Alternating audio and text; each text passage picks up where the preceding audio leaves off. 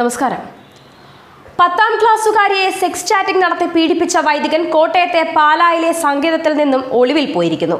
സഭയുടെ സ്കൂളിലെ പതിനഞ്ചുകാരിയായ പെൺകുട്ടിയെ സെക്സ് ചാറ്റിംഗ് നടത്തി പീഡിപ്പിച്ച വൈദികനെ സംരക്ഷിച്ച് ചൈൽഡ് ലൈനും പോലീസും. പ്രായപൂർത്തിയെത്താത്ത പെൺകുട്ടി വൈദികന്റെ ഹോസ്റ്റലിലെ അന്ത്യവാസിയായിരുന്നു. പാലായിലുള്ള വൈദികൻ ഇപ്പോൾ കോളേജിന്റെ പ്രിൻസിപ്പൽ ചുമതലയിൽ നിന്നും ലീവ് എടുത്ത് അജ്ഞാത കേന്ദ്രത്തിൽ ഒളിവിൽ പോയിരിക്കുകയാണ്. പോക്സോ കേസിൽ പ്രതിയാകേണ്ട വൈദികനെ രക്ഷിക്കാൻ സഭയുടെ ഉന്നതരും അധികൃതരുമായി കൈകോർക്കുകയാണ്. ചൈൽഡ് ലൈൻ പോലും അതീവ ഗുരുതരമായ കൃത്യവിലോപം കാണിക്കുന്നു. ഇതിനിടയിലാണ് അങ്കിൾ എന്ന പ്രിൻസിപ്പൽ വൈദികൻ ഒളിവിൽ പോയിരിക്കുന്നത്. എന്നും തടസ്സങ്ങളാണ്. ഇരകളേക്കാൾ കൂടുതൽ പരിഗണനയും സംരക്ഷണവും വേട്ടക്കാരായ വൈദികർക്ക് ലഭിക്കുന്നു. ഇത് കേരളത്തിലെ കാത്തോലിക്ക സഭകൾക്കും വൈദികർക്കും മാത്രം കാലാകാലങ്ങളിൽ ലഭിക്കുന്ന ഒരു പ്രിവിലേജാണ് ഒരു സ്വാമിക്കോ മൗലോയ്ക്കോ മുസ്ലിയാർക്കോ എന്നും ലഭിക്കില്ല ഈ പഴുതുകൾ. എന്തുകൊണ്ടെന്ന് ചിന്തിക്കണം. ഇതിന്റെ അവസാനത്തെ ഉദാഹരണമാണ് പാലായിലെ ജയിലിലേക്ക് വിടേണ്ട വൈദികനെ പോലീസ് ഒളിവിലേക്ക് വിട്ടിരിക്കുന്നത്. പതിനഞ്ചുകാരി പെൺകുട്ടിയെ പീഡിപ്പിച്ച സി എസ് ഐ സഭാ വൈദികനെതിരെ പി സി ജോർജ് പ്രതികരിക്കുന്നു. അവന്റെ അച്ഛൻ കുപ്പായം വലിച്ചു കീറി കരണക്കുറ്റി അടിച്ചു പറിക്കണമെന്നാണ് പി സി ജോർജ് തുറന്നടിച്ച് പറയുന്നത്. സർ കഴിഞ്ഞ ദിവസം ഞങ്ങളുടെ കർമാനൂസ് ഒരു വാർത്ത പുറത്തുവിട്ടിരുന്നു പതിനഞ്ച് വയസ്സായ ഒരു പെൺകുട്ടിയോട് ഒരു വൈദികൻ രാത്രി കാലങ്ങളിൽ അശ്ലീലമായി സംസാരിക്കാറുണ്ട്. എന്റെ ചോദ്യം പതിനഞ്ച് വയസ്സായ കുട്ടി എന്ത് കുറ്റം ചെയ്തിട്ടാണ് ഈ വൈദികൻ? ആ പതിനഞ്ച് വയസ്സായ പെൺകുട്ടിയോട് വൈദികർ എങ്ങനെ ഫോണിൽ വിളിച്ച് സംസാരിച്ചാൽ? എന്റെ നാട്ടിലാണെങ്കിൽ ആ വൈദികന്റെ ചെവിക്കുറ്റി അടിച്ചു പറിക്കും അറിയാവോ? ആ വൈദികനല്ല അവന്റെ ഉടുപ്പ് കൂരി അവന്റെ ചെവിക്കുറ്റി അടിച്ചു പറിക്കും.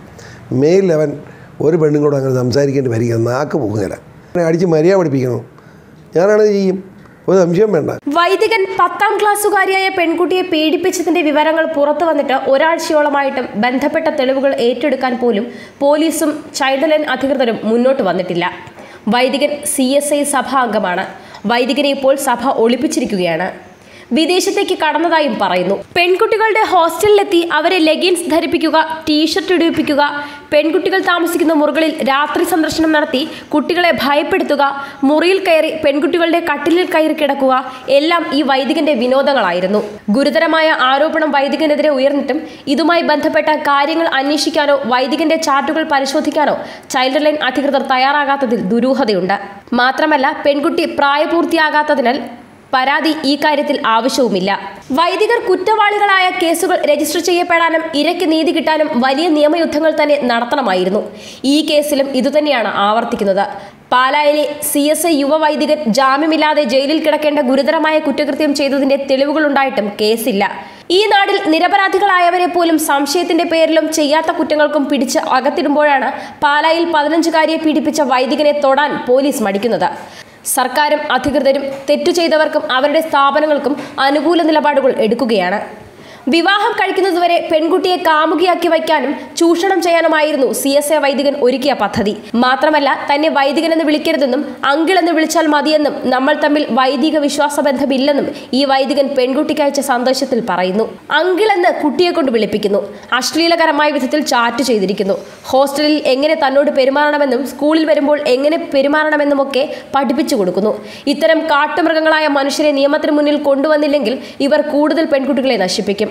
മാത്രമല്ല വൃത്തികെട്ട ഈ യുവവൈദികൻ തന്നെ പറയുകയാണ് താൻ വൈദികനല്ലെന്നും അങ്കിളാണെന്നും. രാത്രിയിൽ വേട്ടക്കാരനും പകൽ വെള്ളക്കുപ്പായം അണിയുന്ന വൈദികനുമാണ് ഇയാൾ. വൈദികനെന്ന് അറിയപ്പെടുന്നതും പെൺകുട്ടികൾ വിളിക്കുന്നത് പോലും ഇദ്ദേഹത്തിന് ഇഷ്ടമല്ലായിരുന്നു. കത്തോലിക്ക സഭ ഇത്തരത്തിൽ വൈദിക വൃത്തിക്ക് താല്പര്യമില്ലാത്തവരെ എന്തിന് ഈ പണി ചെയ്യിപ്പിക്കണം? ഈ യുവവൈദികന്റെ വൈദിക വൃത്തി പെൺകുട്ടികളെ ചൂഷണം ചെയ്യാനുള്ള ഒരു മറ മാത്രമാണെന്നും വ്യക്തമാണ്. വൈദികനും പെൺകുട്ടിയുമായുള്ള സെക്സ് ചാറ്റിന്റെ വിവരങ്ങൾ നിയമപരമായ വിലക്കുകൾ ഉള്ളതിനാൽ മാത്രമാണ് കർമാനൂസ് പുറത്തുവിടാത്തത്. News desk Karma news.